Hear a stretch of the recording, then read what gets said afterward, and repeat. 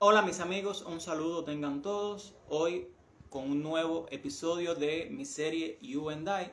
En el día de hoy les estaré presentando a una joven youtuber cubana para que nos cuente su experiencia, cómo ha sido eh, durante todo este periodo de tiempo en el cual creó su canal, toda su experiencia relacionada con esta profesión que muchos jóvenes cubanos actualmente están desempeñando. Así que sin más preámbulo vamos a presentar a Olivia, una youtuber de La Habana. Bienvenida. Hola, gracias. ¿Cómo estás? Bueno, aquí eh, muy feliz de tenerte de invitada y muchas gracias por haber aceptado la invitación. Para mí es un privilegio contar con tu presencia aquí en este en vivo.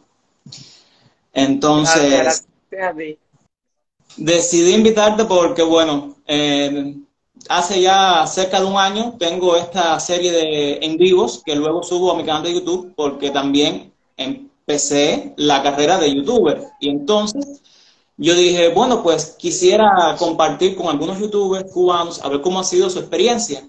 Y bueno, tuve la suerte de contar con tu aprobación y voy a empezar preguntándote que, cómo y por qué decidiste abrirte un canal de YouTube y qué contenido podemos encontrar en tu canal.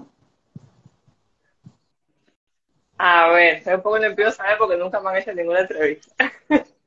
eh, a ver, porque simplemente un día vi eh, un youtuber cubano, Anita Consudin en este caso, y me interesé, ¿no? Dije, bueno, esto se puede hacer en porque yo ni sabía que se podía hacer esto acá en Cuba, estaba, vivía yo parece que en una piedra o algo así y empecé a buscar contenido, empecé a buscar YouTube cubano, me salieron un montón y yo dije, ay, yo como que me inspiró aquello, yo dije, ay, yo quiero hacer esto.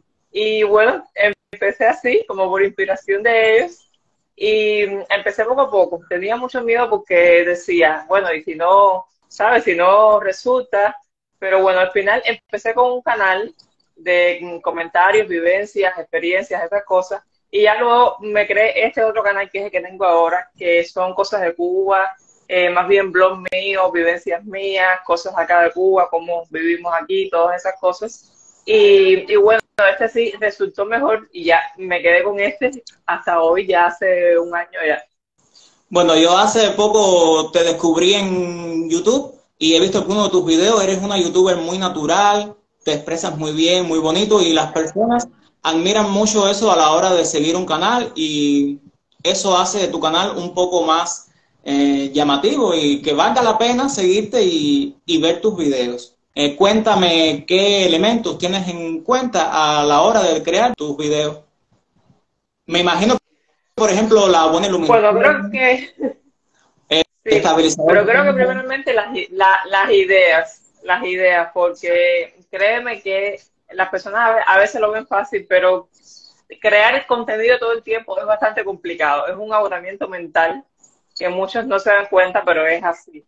Porque, por ejemplo, yo ahora estoy intentando subir dos videos semanales ahí, eh, ¿sabes? Sin fallar y crear contenido dos veces a, a, la semana es bastante complicado. Sí. Entonces creo que lo principal es eso, las ideas, el crear. Y ya luego, bueno, sí, la imagen, al principio yo cuando grababa la, la, imagen se me movía mucho, era muy inestable. Ya luego, bueno, pude conseguir el estabilizador, una suscriptora me lo regaló y, y ya entonces por ahí mejoré el audio también con el microfonito más o menos ha ido mejorando. Entonces creo que lo que me falta sobre todo es, lo, en el audio sobre todo el silencio, porque grabar aquí en silencio es totalmente imposible, porque siempre se van a oír eh, bullas del vecino, de la calle, de los carros, eso es inevitable. Y por otra parte, iluminación, sobre todo aquí en casa, que sí creo que debo comprarme algunos, algunas luces, porque cuando grabo aquí sí se ve un poco oscuro. Creo que es lo que me falta, vaya, modestamente, ¿no? Porque podría hacer muchas cosas más. Pero básicamente creo que es lo que me falta así por ahora. No, y hay ciertos detalles que nuestros suscriptores a veces de otros países no conocen y es lo difícil que se hace subir un video por cuestiones de conexión, bueno, la corriente que se te quedó. fue complicado. En cualquier momento se te va la corriente y se quedó el video ahí en pausa. Las personas a veces no imaginan el trabajo que pasamos y subir, para subir nuestro subir un video es horas y horas y horas. Que quizás en otro país tú, tú, subes un video en media hora, 20 minutos. Aquí son horas, 5, 6, 7 horas un día entero a veces porque es imposible. Hemos visto en tu canal muchos videos sobre blogs, que es principalmente a la línea temática que sigue tu canal, es tu vida siendo cubana y viviendo en Cuba. ¿Crees que aportas algo positivo a las personas que te observan?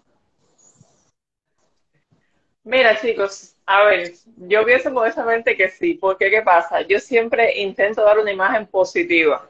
Yo siempre, hay, hay personas que me han dicho, es increíble cómo ustedes viviendo en la situación que viven, siempre tienen una sonrisa, siempre ven todo positivo. Y pienso que eso es lo que más aporto. Yo cuando me siento mal intento no hacer videos porque no quiero transmitir eso. Siempre me gusta eh, transmitir cosas positivas, energía positiva y decirle a las personas que aunque quizás estemos pasando por un mal momento, pero siempre nos enfrentamos a la vida con buena cara. Y entonces creo que eso es lo principal que puedo aportarle a, a los suscriptores, ¿no? Y de hecho sí lo haces porque en cada uno de tus videos podemos ver cómo tú transmites esa paz, esa tranquilidad, esa alegría. Y es, es que normalmente yo siempre me estoy riendo porque yo me río de todo. Y entonces eh, yo siempre estoy así. A veces tengo algunos problemas, pero igual, siempre estoy así. Entonces eso es lo que intento yo transmitir. Sí, siempre. A más tiempo, buena cara siempre. Exacto. ¿Consideras, Olivia, que ser youtuber es un hobby o un trabajo? ¿Con cuánta seriedad has tomado este desempeño que has tomado? Mira, ahora mismo yo lo considero como un trabajo totalmente. Comparte. Eh, ahora mismo, actualmente, Actualmente yo estoy viviendo de YouTube, o sea, es mi trabajo totalmente. Y entonces, ya cuando yo considero que cuando tú vives de algo, cuando tú haces algo que te gusta y a la vez te da para poder vivir, es un trabajo, o sea, no es otra cosa, es un trabajo. Y yo lo tomo con la seriedad, con la seriedad que eso requiere, porque yo no es que, ay, hoy no tengo ganas de grabar, ay, hoy no tengo ganas de editar. Hay veces que yo no quiero editar porque no tengo deseos, porque me siento mal y tengo que hacerlo porque es mi trabajo. ¿sabes? Y tengo que pasarme ahí frente a una computadora cinco o seis, siete horas editando un video porque lo lleva, porque lo requiere. Entonces, cuando ya cuando tú tomas eso con esa seriedad, es un trabajo, definitivamente. Y si además te da para poder vivir, para poder, no ser millonario, pero para poder sobrevivir en el país en el que estás, pues es un trabajo, obviamente. Yo pienso sobre todo que los jóvenes cubanos que han tomado la iniciativa de ser youtubers en un país eh, tan complicado como lo es el nuestro, pues yo pienso que puede ser hasta un gesto, un acto de valentía y de emprendimiento, como es lógico. Entonces, eh, ¿qué consejos le darías a los jóvenes cubanos que están iniciándose en el mundo de YouTube? Mira, yo cuando empecé también me metía en los videos de los youtubers cubanos y, y les decía lo mismo. ¿Qué consejos me das? Yo estoy empezando ahora y todos me decían, chica, mucha constancia, mucha constancia. y en, en, ese momento tú no ves como que, ay, sí, constancia, ok, pero luego te das cuenta de que es así, de que la constancia es lo que te va a llevar a, al éxito, ¿no? A lograr lo que tú quieres.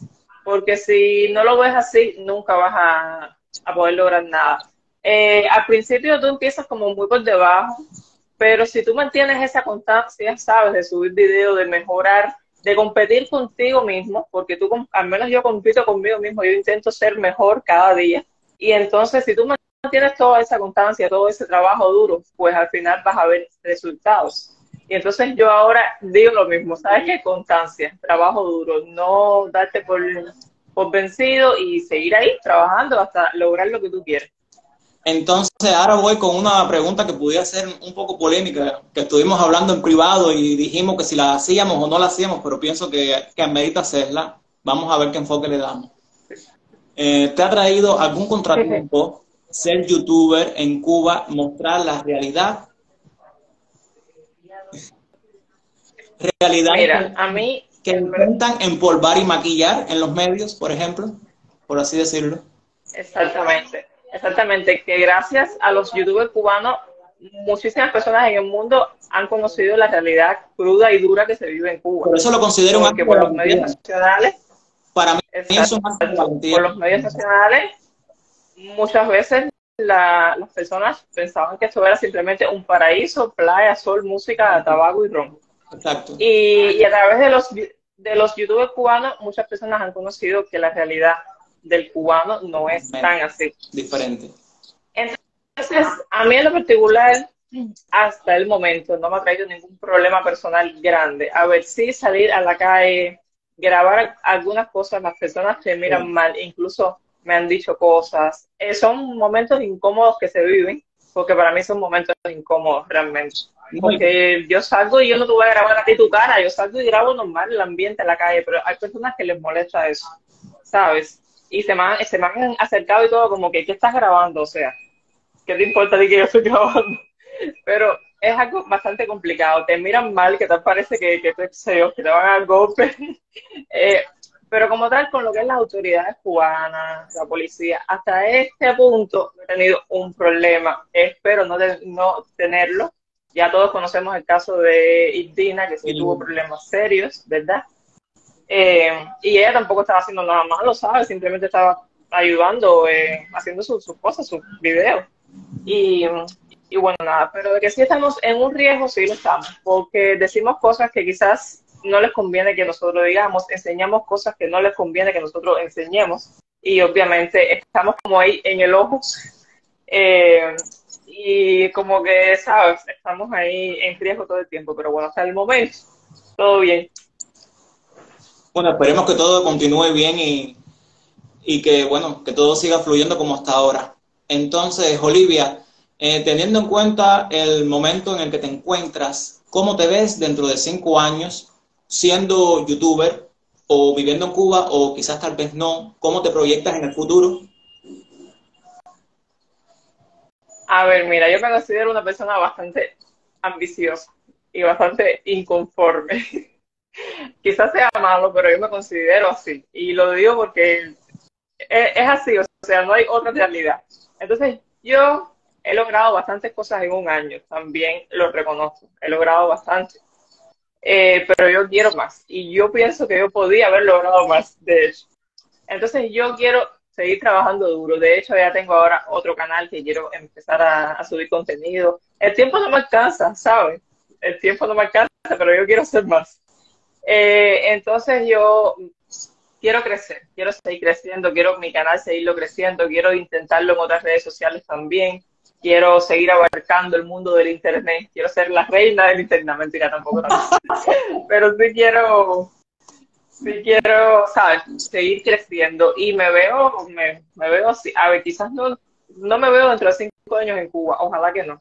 Yo no me he querido ir por temas sobre todo personales de mi abuelita, está muy mayor y todo eso, pero ya eso sinceramente no, no, no da más. O sea, ya aquí los jóvenes cubanos no tienen futuro alguno, bueno, tú eres médico, quizás puedas saber que has estudiado tanto y al final...